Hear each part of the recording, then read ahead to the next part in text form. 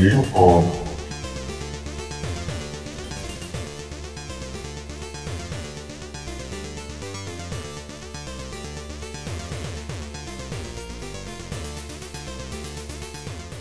Today I'm going to show you how to troubleshoot and set up a Gachapon machine. Uh, I don't actually even know exactly what brand machine this is because it just does not say on it. It is very similar to the Bandai machine, so I'm going to assume that it might be a knockoff of the Bandai machines or made just kind of third-party style like that model. We do have an instruction manual that came with our Gachapon machine. However, sadly, this was actually inside the toy capsule compartment that we actually could not figure out how to originally open. So neat that that was inside there that we couldn't actually reach. Uh, if you like step-by-step -step picture instructions, this is very handy once you actually have it out of the machine. However, that was not the case for us, so it took us a while to even get to this part of finding the instruction manual. I'll flip it over here for you.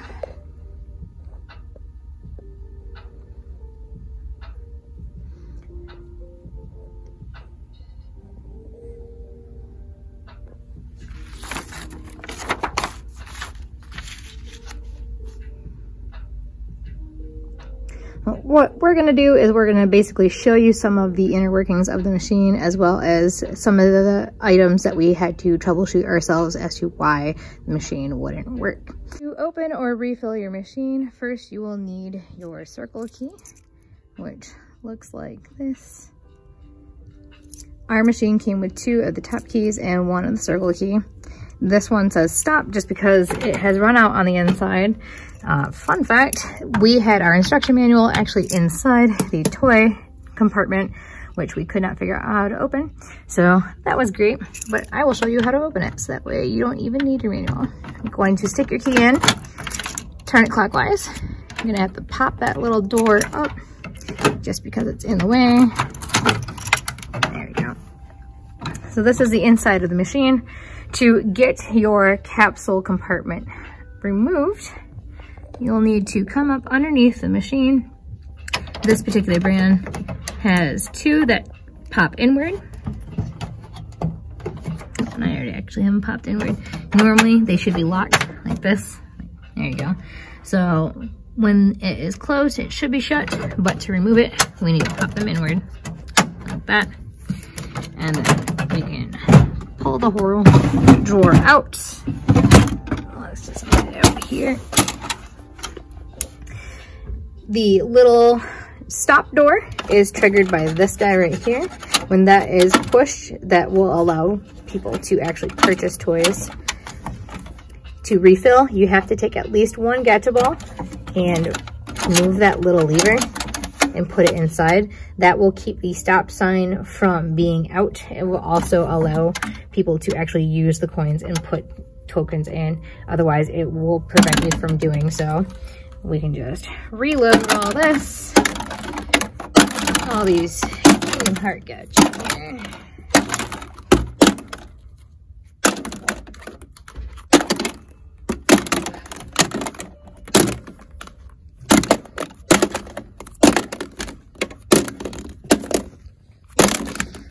once that lever is moved out of the way and you've restocked your drawer, simply take your drawer again, The little stop sign should be lifted up and you're gonna place it back in the machine. Just line it up. I'm trying to do this one-handed here. Line it back up. And it should slide.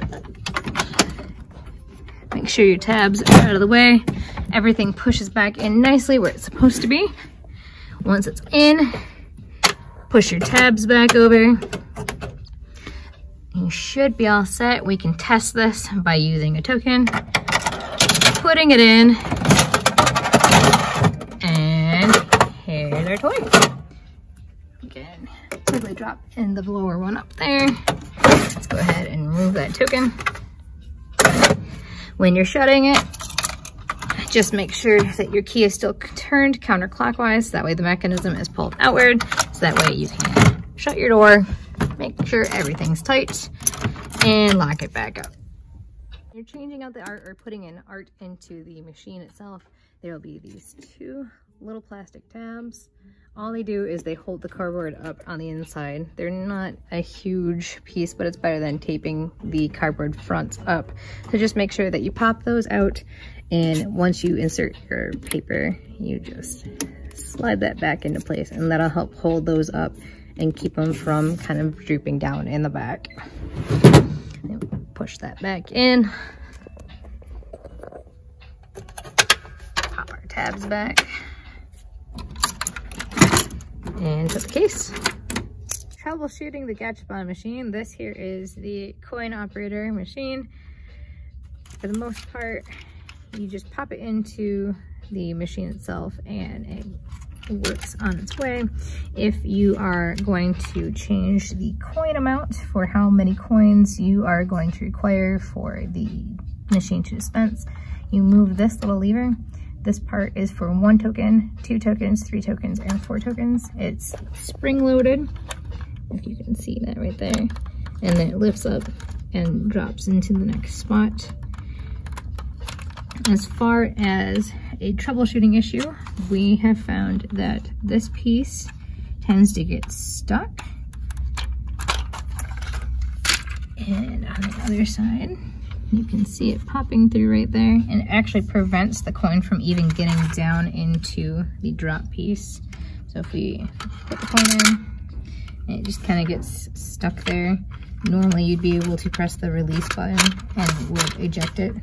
But if it gets stuck like this, what we need to do is first click this release and we're going to pop that top part out. You can remove the token, you know, flip it back over and we're going to undo these three little screws here. Let's do this one-handed, I guess. Hold on.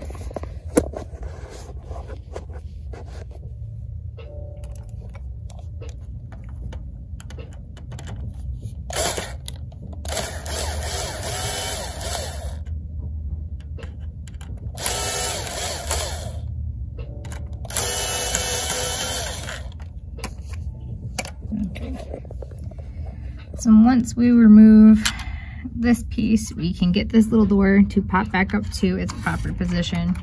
There is a tiny little spring there. Make sure it's all lined up properly. Uh, this one is out of alignment. Make sure it's all lined up properly. That way you can get the other piece screwed back in. Make sure that the piece, the arm here, just stays upright. Otherwise it's gonna give you the exact same problem of blocking the token. So make sure it's upright before you screw it back in. Let's go ahead and do that.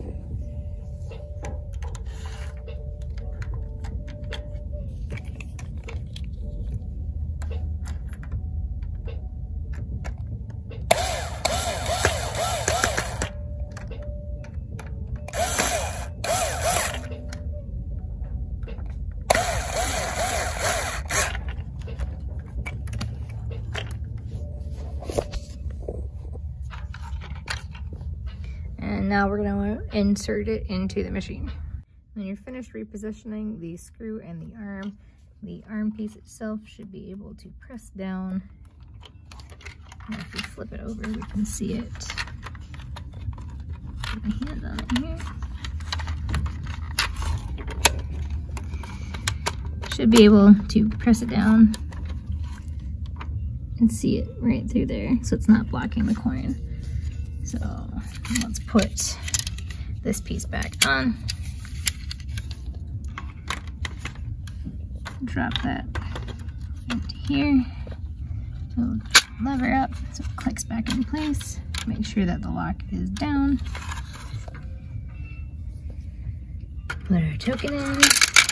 And now it has gone past that spot down to the bottom where you can either press the trigger release or crank the wheel to actually have it pay for the toy. Inserting the coin operator into the base of the machine. It's going to look like this. Fairly simple as far as design. However, it is kind of something that you'd have to finesse into there.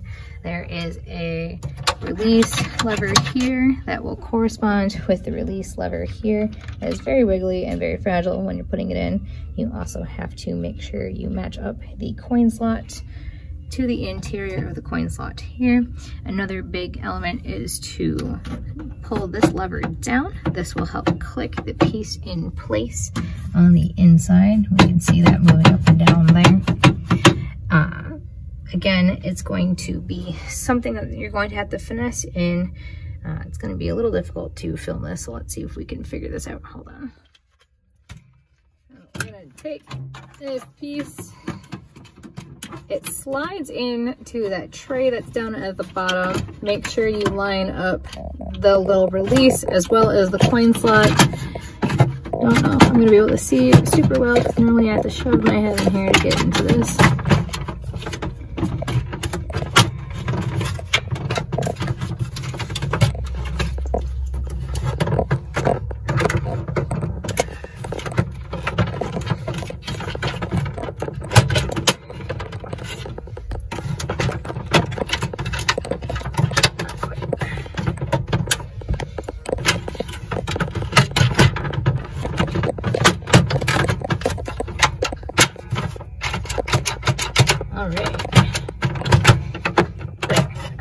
So very snug trying to get it in there.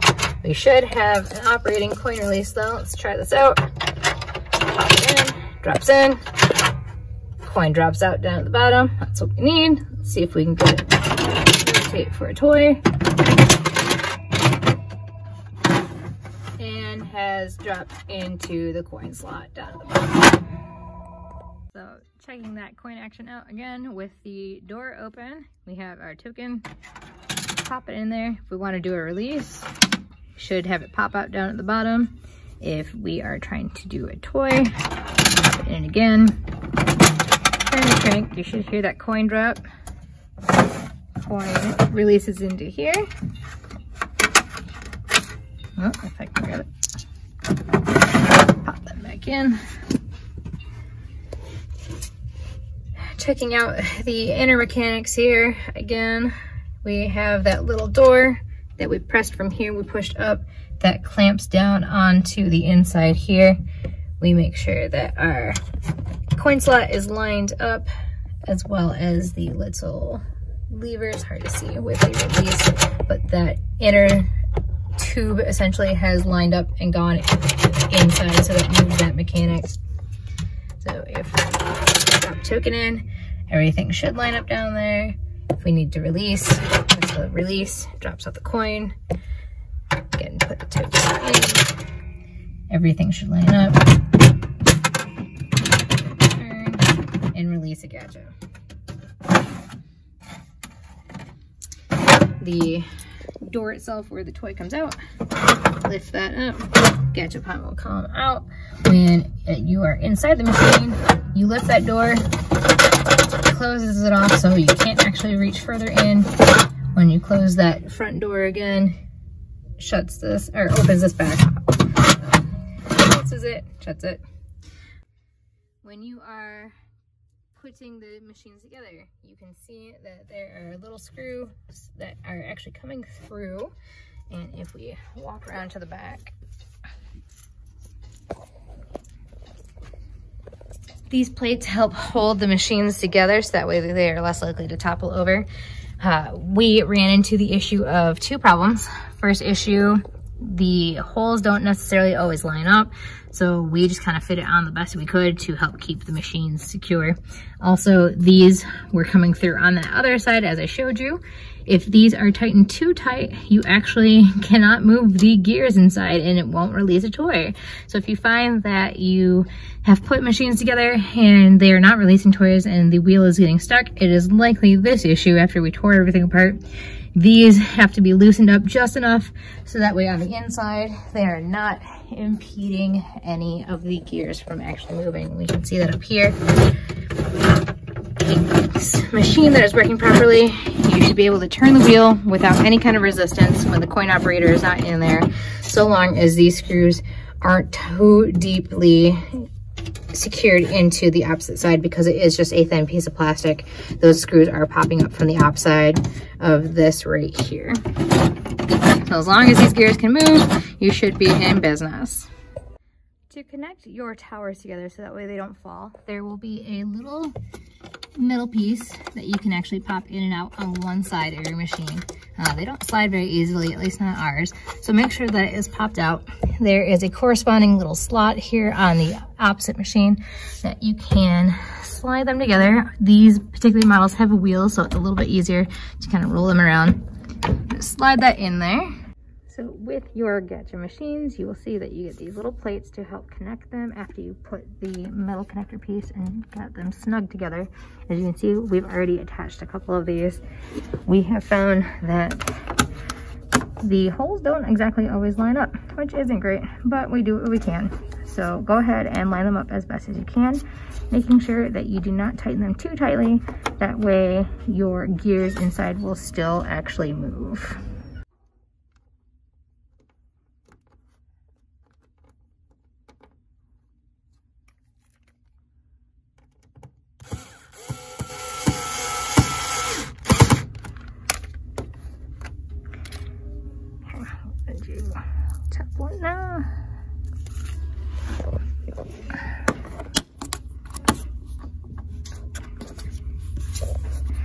we ended up just doing one of each corner and then putting the rest of these screws in other remaining spots.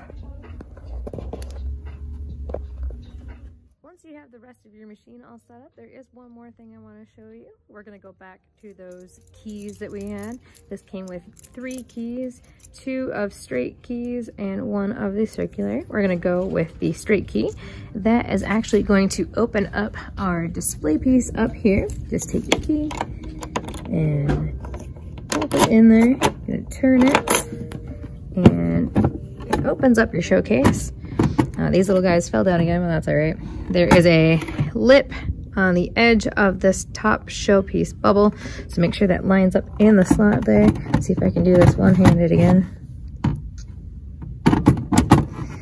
Line it up. Make sure that it fits down in the back so that way that back slot is open so you can turn the key again to lock it in place hopefully that answers your questions about putting together and troubleshooting the, Gachapon machine. If you have any questions, feel free to reach out to us. You can get a hold of us here or try to get a hold of us on our Twitter, our Instagram, or our Facebook pages, and we will help you out the best we can. It's a learning process, and we are just glad that it is happy and running and working for our store. Have a good one, guys, and get your game on.